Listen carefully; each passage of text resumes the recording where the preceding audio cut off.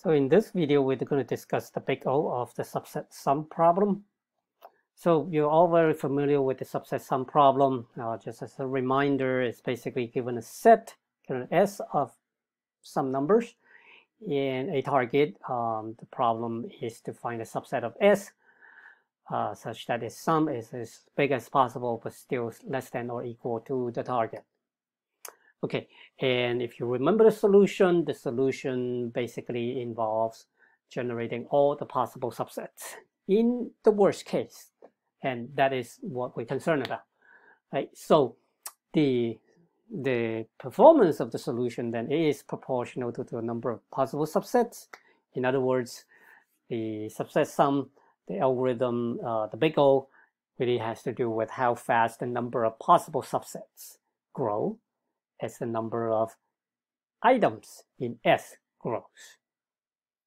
Okay, so you have seen this before. This shows, you know, on the first column, uh, what might be in S, and then on the second column, all the possible subsets for a given S.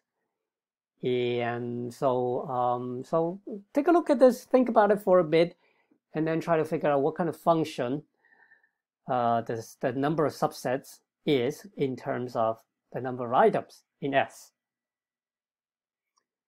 So if you look at this, um, the way that it goes is when there's nothing in S, there's one subset. When there's one item in S, there are two subsets, two items, four subsets, three items, eight subsets.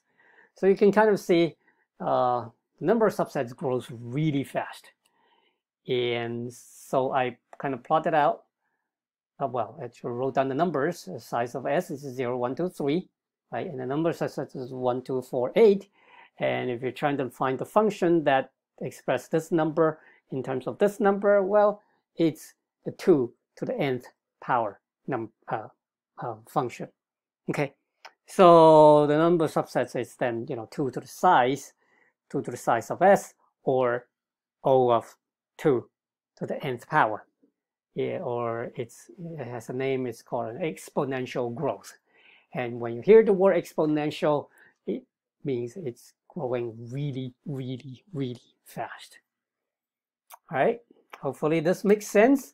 And um, again, that's uh, that's just in theory on paper. That's uh, that's what we think it is.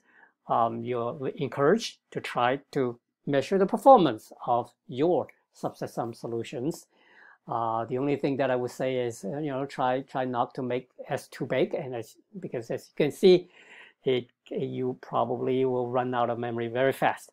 Although uh, it's kind of fun to find out when you run out of uh, memory and you know things um, start to break.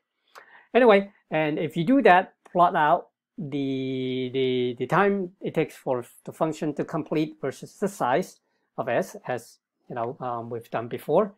And um, hopefully it, uh, it the graph looks like something that is an exponential function